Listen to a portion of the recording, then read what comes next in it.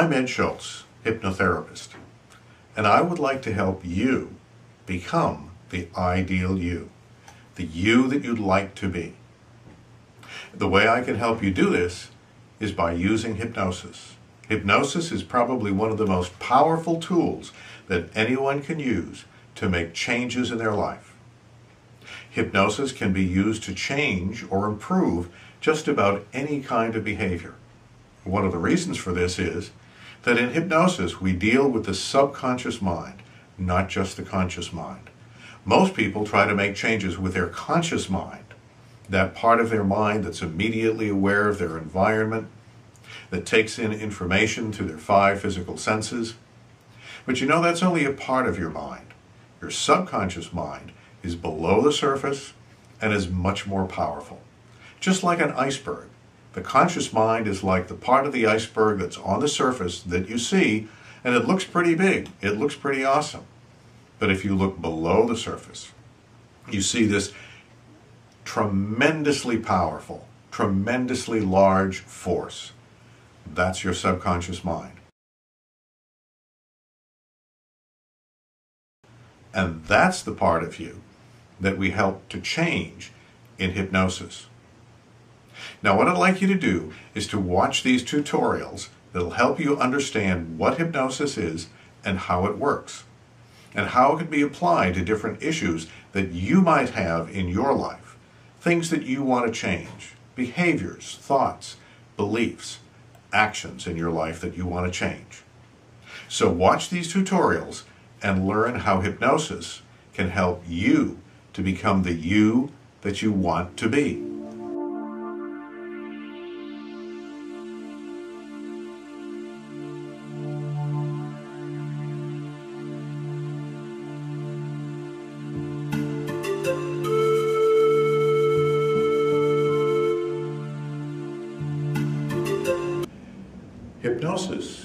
Defined as a heightened state of suggestibility that's brought about through a process of relaxation, concentration, and cooperation. But before we talk too much about hypnosis itself, it's important to understand the human mind. Now, the human mind is composed primarily of two parts, the conscious mind and the subconscious mind. If you think of the mind as being like an iceberg, the tip of the iceberg, which is what you see on the surface, seems to be awesome, seems to be powerful. And indeed it is.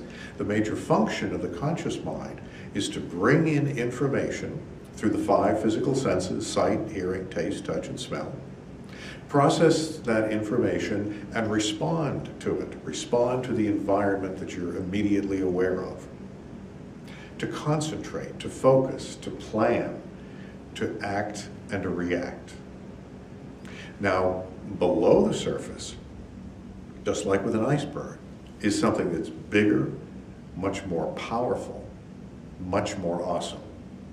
That's what's known as the subconscious mind.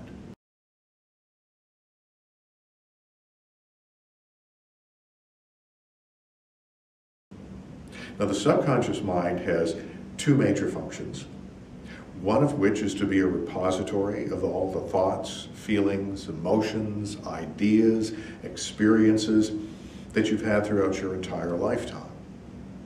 Another function of the subconscious mind is to be in charge of the autonomic functions of the body.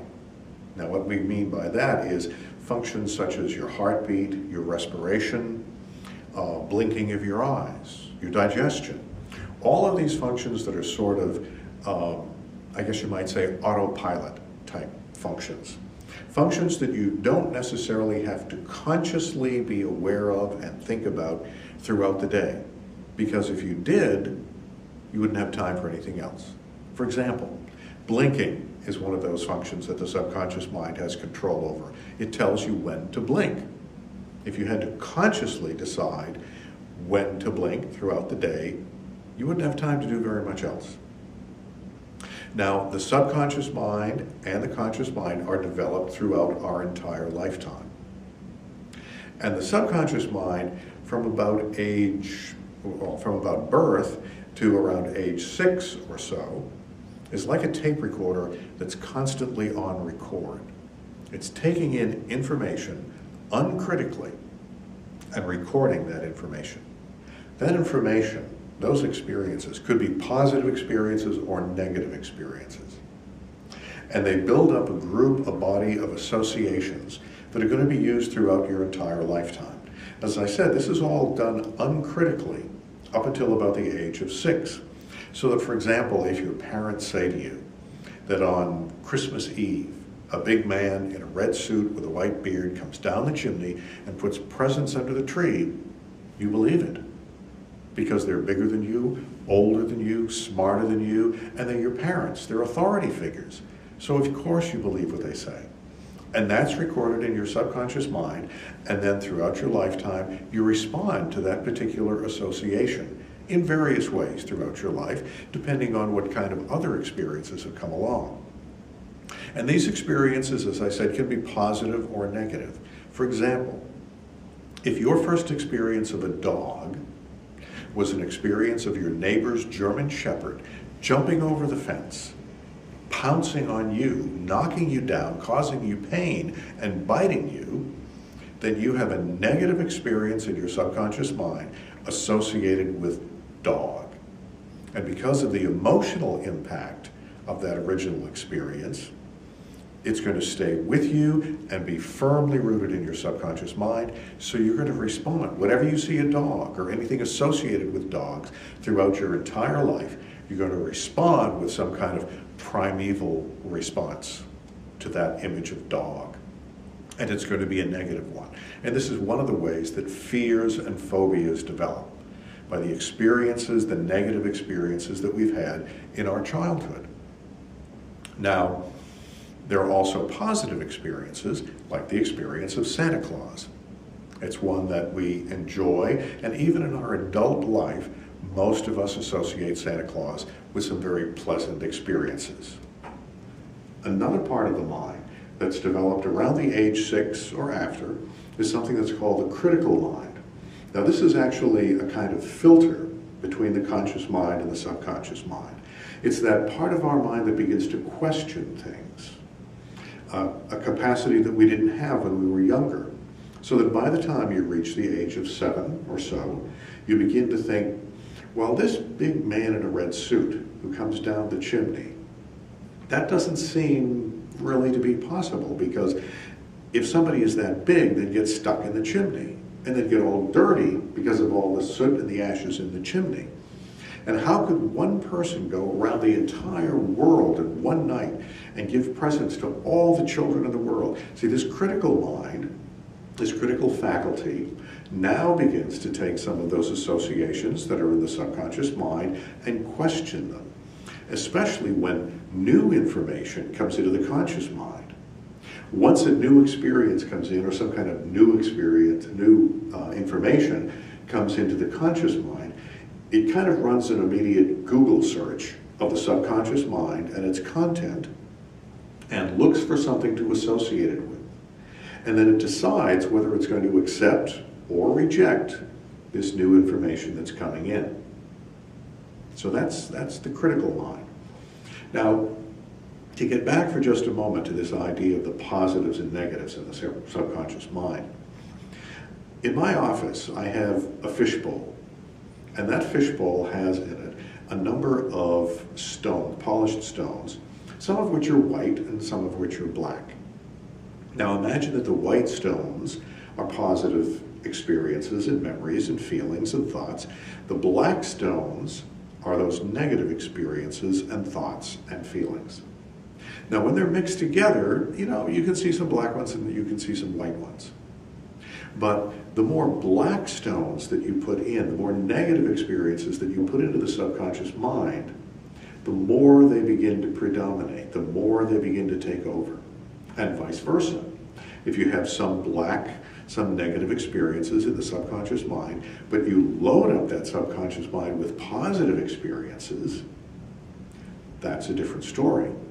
Then the black ones begin to disappear they don't really disappear. They're still there, but they're overwhelmed by the positive experiences. And this is one of the things that we do in hypnosis. When someone has some kind of behavior that they want to change, some kind of negative behavior, We help them through hypnosis to imagine positive behaviors, see themselves doing these positive behaviors using their imagination, and we pile these on. We reinforce them over and over again with hypnosis and with self-hypnosis.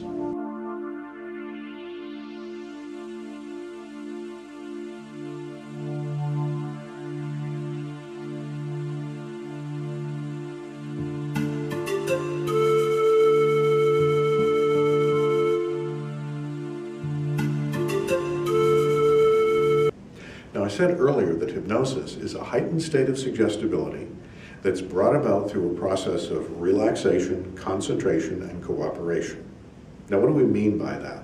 Let's take a look at those three elements, relaxation, concentration, and cooperation. Relaxation through verbal suggestion, and usually through a comfortable environment, such as a recliner or some other kind of comfortable chair. We help you to physically and mentally relax. We relax you using a soothing tone that helps you to go deeper and deeper into a state of relaxation. Deeper and deeper, the deeper you go, the better you feel. The better you feel, the deeper you go. You see what I mean? It's just verbal suggestion that you are relaxing. So we help to relax your body and we help to relax your mind. That's the first element relaxation, concentration. Now, when I talk about concentration, concentration is actually a function of the conscious mind.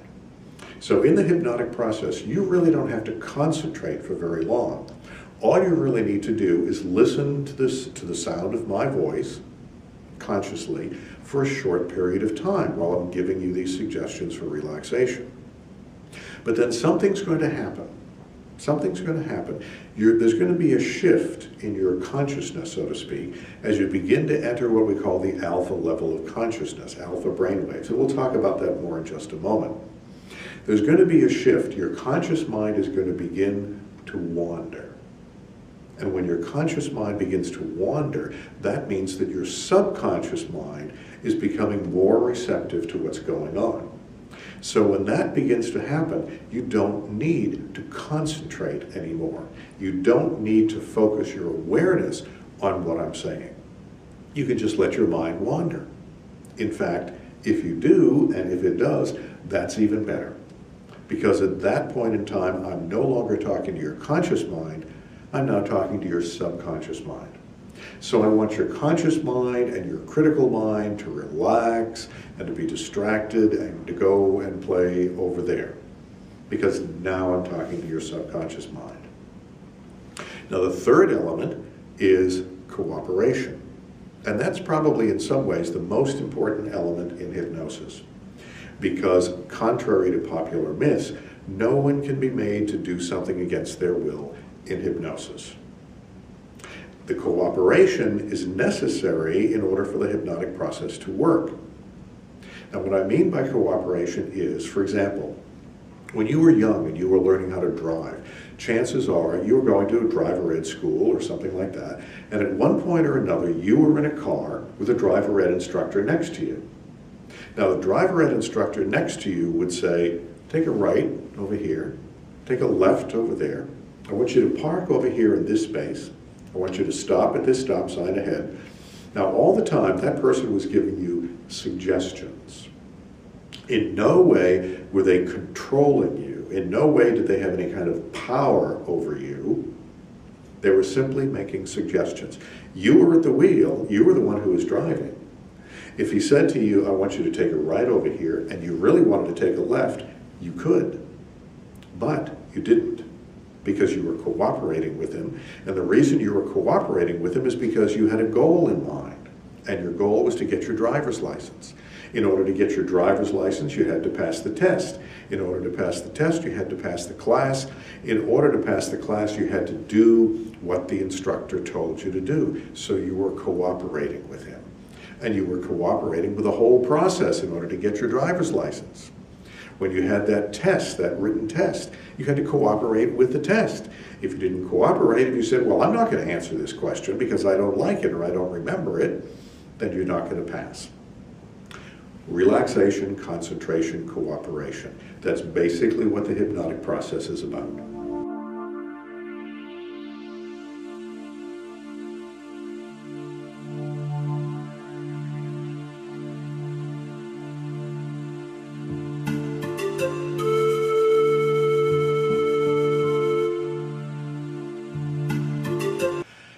Watched a movie that was very, very exciting? Pulse pounding action? You could feel your heart beating fast. You could feel the adrenaline surging through your veins because it was so exciting. Have you ever been to a concert or a play in which you really got wrapped up in what was going on? Have you ever read a novel that was very, very sad? You found yourself tearing up you had a lump in your throat.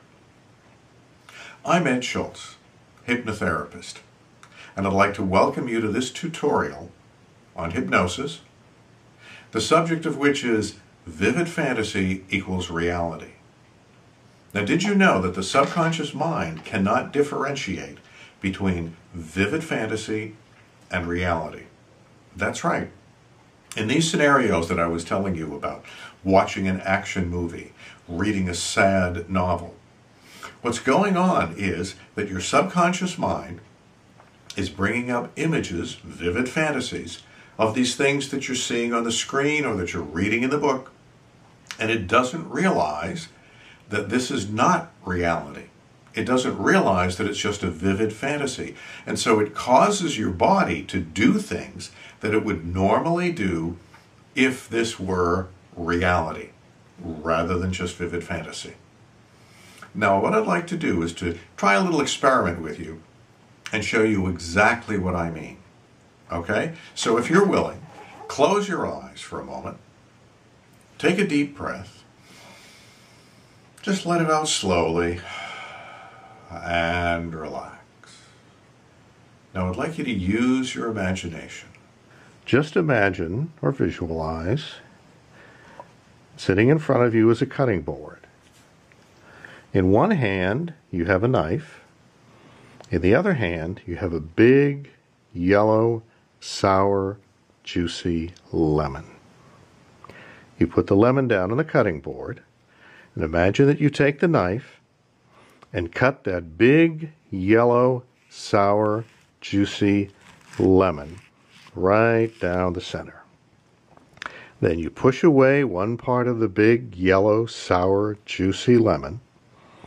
You take the other one in your hand and you cut off about a quarter inch slice of that big, yellow, sour, juicy lemon. There you go. Now, imagine that you put the other piece down. So, right in front of you, in the middle of the cutting board, is a slice of big, yellow, sour, juicy lemon. Then you take your knife and you cut right down the center of that lemon slice. That big, yellow, sour, juicy lemon slice. So now you have two big, yellow, sour, juicy lemon wedges. You take one of those big, yellow, sour, juicy lemon wedges and you bring it up to your mouth. You put it in your mouth. You open your mouth and you bite down onto that big, yellow, sour, juicy lemon wedge. And you can feel that sour lemon juice squirting inside your mouth, all around your tongue, down your throat. Open your eyes now, what just happened in your mouth? Chances are you were salivating, maybe your lips were puckering, maybe you were swallowing, maybe you actually remembered the taste of lemon and felt as though you had a real lemon in your mouth. Did you? No. You, have a, you had a vivid fantasy of a big, yellow, sour, juicy lemon which your subconscious mind took to be reality. And so it caused your body to do the things that it normally does when you have a real lemon in your mouth. Now, if I had said to you five minutes ago, I'd like you to salivate for me, chances are you couldn't have done that. So, what we did is to have you close your eyes, just relax a little bit, and then create a vivid fantasy of a big, yellow, sour, juicy lemon, which you put in your mouth. And because your subconscious mind took this to be reality, it told your body what to do. Now, we use this principle of vivid fantasy equals reality in hypnotherapy all the time. For example, let's say that you happen to be overweight. And because you're overweight, you have an image of yourself in your subconscious mind as being an overweight person. Through hypnosis, we change that self image. You see yourself as being happy and healthy, slim and trim, and we reinforce that image over and over again through hypnosis and through self hypnosis. And as we do, then your subconscious mind begins to believe this is my reality. This is true for me. And if that's true for me, then I'm going to cause my body to do what it needs to do in order to conform with that image. We can use it in fears and phobias too. Let's say, for example, that you have a fear of dogs.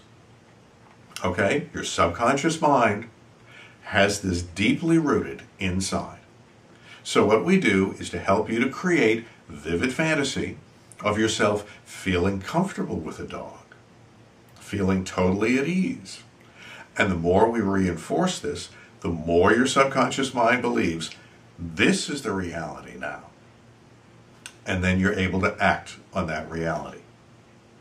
So, this is one of the most important principles that we use in many different ways in hypnotherapy. Vivid fantasy equals reality. If you are able to conceive it and believe it, you can achieve it. Thank you for joining me for this tutorial, and I hope you'll stay tuned for more.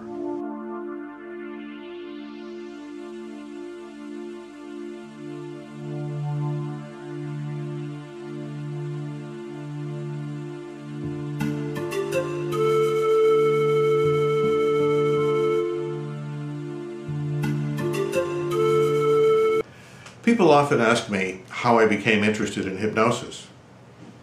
Well, when I was about 11 years old, there used to be a number of television programs that would occasionally tell stories about hypnosis, and that kind of piqued my curiosity.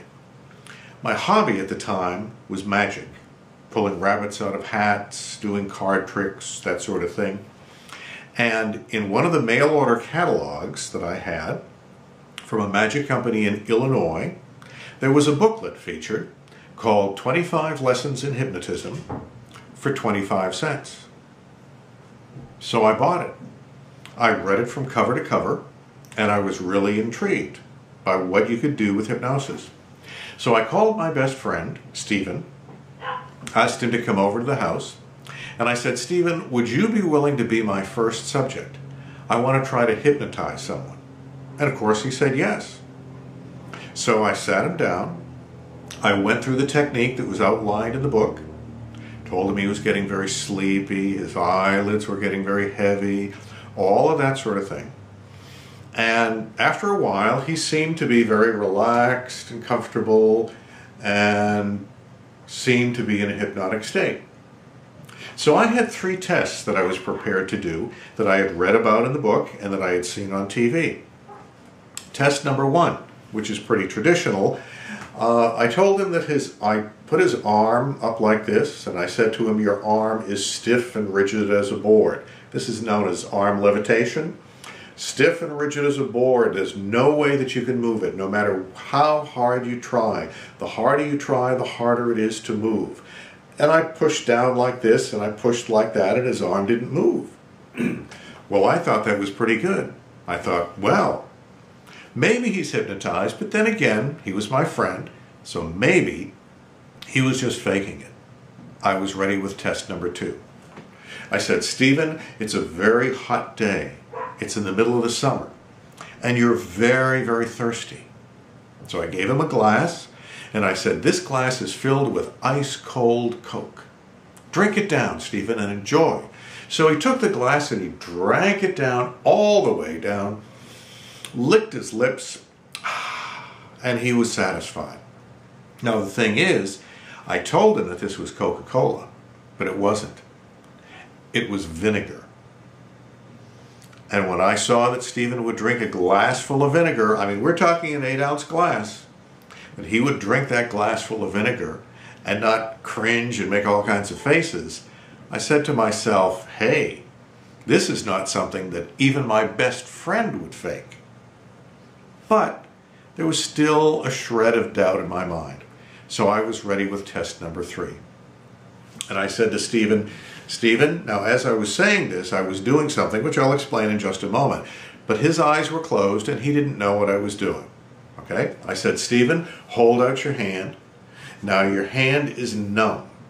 You have no feeling whatsoever in your hand. And as I was saying this to him, and I kept giving him suggestions that there was no feeling in his hand whatsoever, I took some of the skin from the back of his hand and pulled it up just like this. Then I had a safety pin. And I plunged that safety pin, as I was telling him that his hand had no feeling whatsoever, I plunged that safety pin through the skin in the back of his hand. He didn't wince, he didn't blink, even though his eyes were closed. And I thought, wow, hypnosis is really powerful. This is something that today we call glove anesthesia.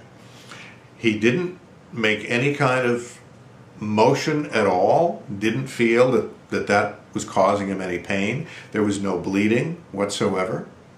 Of course, then I took the needle, the pin, safety pin, out of his hand, told him that the feeling in his hand was normal, and he was fine after that.